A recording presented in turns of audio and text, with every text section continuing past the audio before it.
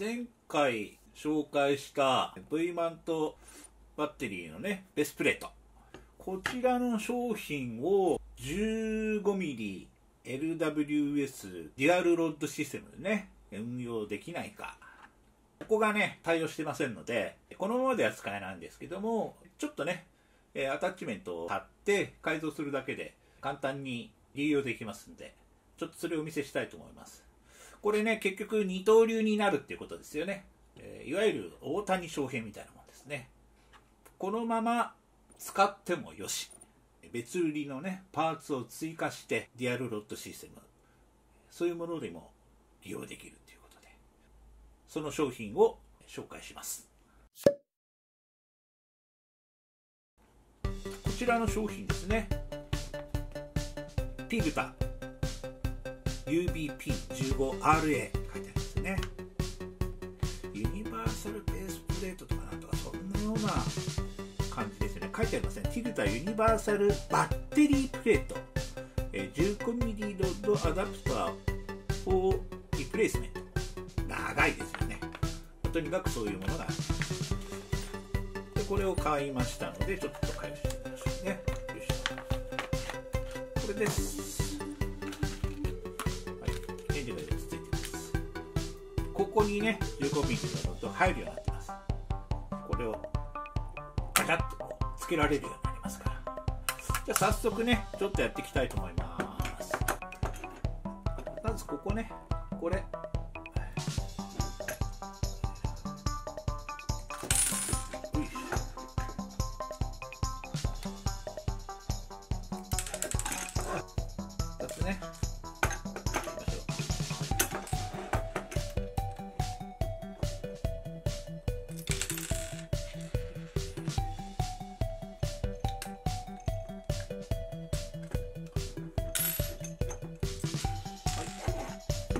とこれがこういう風になってます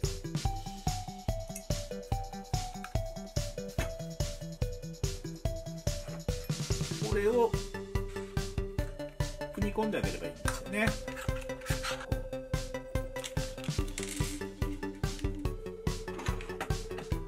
ここね4箇所止められるようになってますね。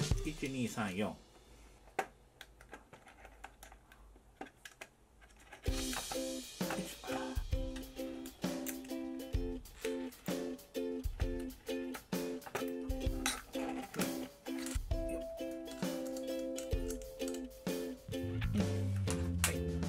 これ2つだけでね十分です。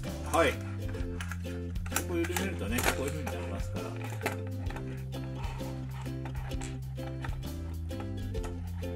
自由にね角度を変えられますからね。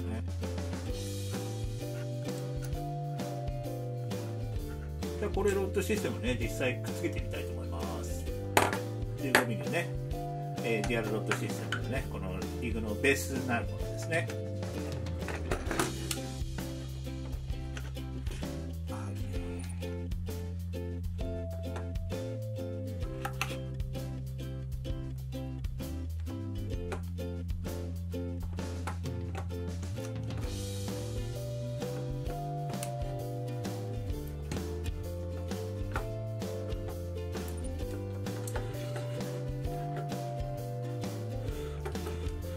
はいできました